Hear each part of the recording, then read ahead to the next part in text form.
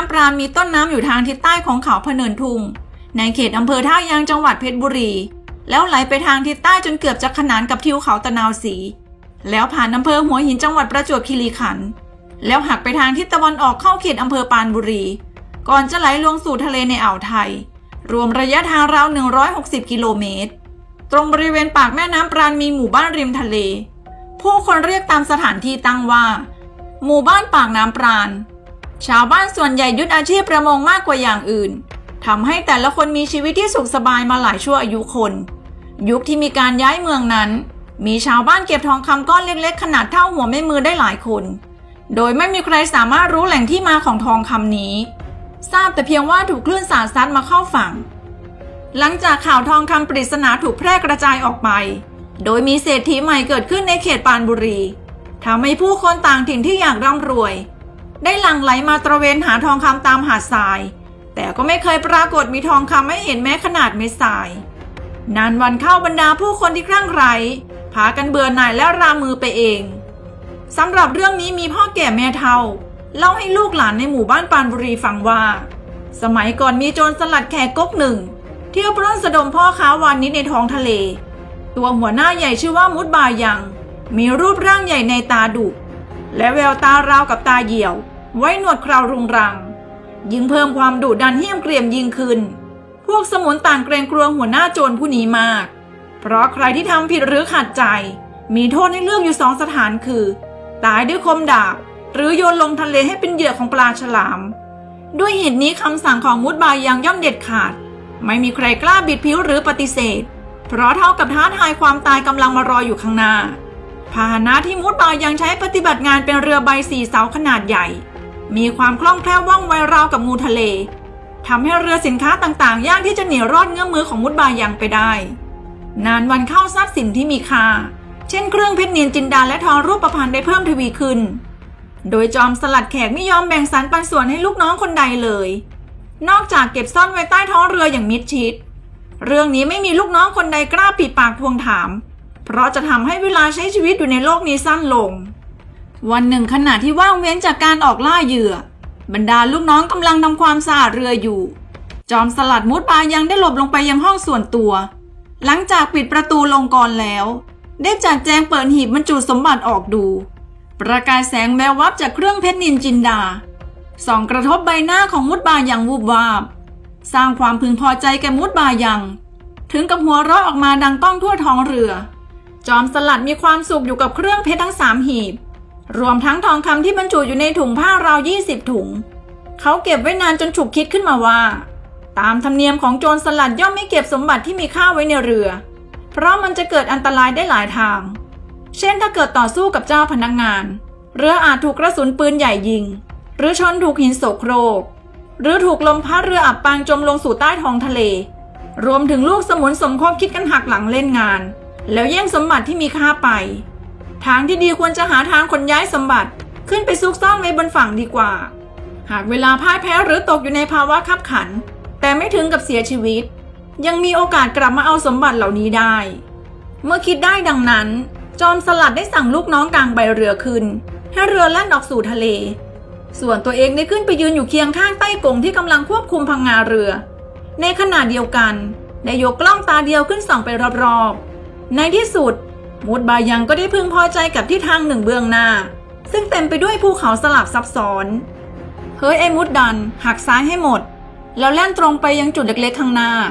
ถึงฝั่งเมื่อใดให้คนลงไปบอกกูที่ห้องข้างล่างด้วย มุดบายังผู้เป็นหัวหน้าสั่งการก่อนที่จะพละออกไป โดยปล่อยให้เจ้ามุดดันเก็บความสงสัยไว้ในใจแต่เพียงผู้เดียว ราวครึ่งชั่วโมงผ่านไป เรือสลัดมุดบายัง ได้จอดลอยลำอยู่ห่างจากแม่น้ำปราณไปราวหนึ่งกิโลเมตร บริเวณนั้นเป็นเทือกเขายาวเหยียด ขนานไปตามความยาวของหาดทราย บางตอนก็แหวงว้อเป็นแอ่งลึกเข้าไป บางตอนที่เป็นเชิงเขาจะปิดกั้นกลางหาดทรายล้ำลงไปในทะเล ภูเขาลูกนั้นมีรูปลักษณ์คล้ายหัวกะโหลกมนุษย์ ชาวปานบุรีเลยตั้งชื่อว่าเขากะโหลก หรือว่าหน้าอุทยานเท้าโกษาในปัจจุบัน ไอ้มุดดันกับตันเรือไม่กล้าพายเรือเข้าไปใกล้ฝั่งพอรู้ดีว่าพื้นทะเลริมฝั่งช่วงนั้น มีหินอยู่ใต้น้ำขึ้นระเกียระกาบไปหมด พอลอยลำดีก็ทอดสมอให้นิ่ง ต่อจากนั้นมุดดันก็บอกให้ลูกน้องคนหนึ่ง ลงไปรายงานหัวหน้าตามที่สั่ง จอมสลัดขึ้นมาบนดาดฟ้าด้วยสีหน้าที่เคร่งขรึม พร้อมกับคัดเลือกสมุนที่มีร่างกายกำยำแข็งแรงจำนวนหกคน แล้วสั่งให้ลงไปยังห้องของมุดบายังที่ใต้ท้องเรือ สักครู่หนึ่ง หีเพชรกับทองคำประมาณ 20 ถุง ได้ถูกทยอยขนขึ้นมาจากห้องของจอมสลัดขึ้นไปไว้บนดาดฟ้า ต่อจากนั้นจอมสลัดแขกได้สั่งให้ใช้เรือเล็กสองลำลำเลียงถุงมหาสมบัติ แบ่งคนคุมลำละสามคน โดยมีเจ้ามุดบายยังร่วมไปกับเรือที่บรรทุกถุงเครื่องเพชรแล้วมุ่งหน้าไปที่หาดทรายหน้าเขากะโหลก ทันทีที่ถึงฝั่ง มุดบายังรีบกระโดดลงเรือ แล้วหันมาสั่งลูกน้องทั้งหกคนให้คอยอยู่ก่อน ส่วนตนได้จัดการไปสำรวจสถานที่เร้นลับ ที่จะซุกซ่อนสมบัติอันมหาศาล ถุงเพชรและทองคำทั้งหมด ได้ถูกลำเลียงไปไว้ภายในถ้ำใหญ่แห่งหนึ่งจำนวนหลายถ้ำของเขากระโหลกลูกนั้น อีกราวหนึ่งชั่วโมงผ่านไป มีเสียงร้องด้วยความเจ็บปวดดังขึ้นติดต่อกันหกครั้ง ต่อมาครู่ใหญ่ จอมสลัดแขกก็เดินออกมาจากถ้ำเพียงคนเดียว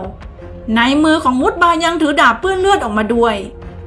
นั่นย่อมหมายถึงจอมสลัดจอมโหดได้สังหารลูกสมุนทั้งหกคนแล้ว เพราะไม่ต้องการให้มีผู้รู้เห็นที่ซ่อนสมบัติ พอออกมาพ้นปากถ้ำ จอมสลัดแขกได้เอาดาบฟันก้อนหินก้อนหนึ่งไว้เป็นเครื่องหมาย เพื่อเป็นที่สังเกตได้เฉพาะตน พอมุดบายังได้พายเรือเล็กไปถึงเรือใหญ่ ก็สั่งให้ลูกน้องแล่นเรือออกสู่ท้องทะเลลึกเบื้องนา ยังไม่มีจุดหมายปลายทาง ที่ซ่อนคุมทรัพย์มหาศาลเลยได้กลายเป็นความลับที่มืดมิด จนกลายเป็นตำนานเล่าขานมาถึงอนุชนรุ่นหลัง การเวลาผ่านไป เรื่องขุมทรัพย์มหาศาลในถ้ำเขากะโหลก ถูกลืมเลือนไปจากความทรงจำ จนกระทั่งไม่มีชาวบ้านปากน้ำปานบุรีคนใดนึกถึงอีกเลย มีบ้างบางวันที่มีเวลาว่างพ่อเท่าแม่เท่าก็จะมาเล่าให้ลูกหลานฟังในยามว่างจากงาน ในราวปีพศ 2480 มีพระภิกษุรูปหนึ่งทุดงมาปักกรดอยู่ที่เชิงเขากะโหลก เพื่อต้องการมาพิสูจน์ปริศนาขุมทรัพย์จอมสลัดแขก ที่เล่าขานว่ามีจริงหรือเท็จ ในปีนั้นตรงกับวันพุธเดือนเมษายนปี 2480 หลังจากที่ฉันเช้าเสร็จเรียบร้อยแล้ว พระภิกษุรูปนั้นได้ออกค้นหาขุมทรัพย์ลึกลับ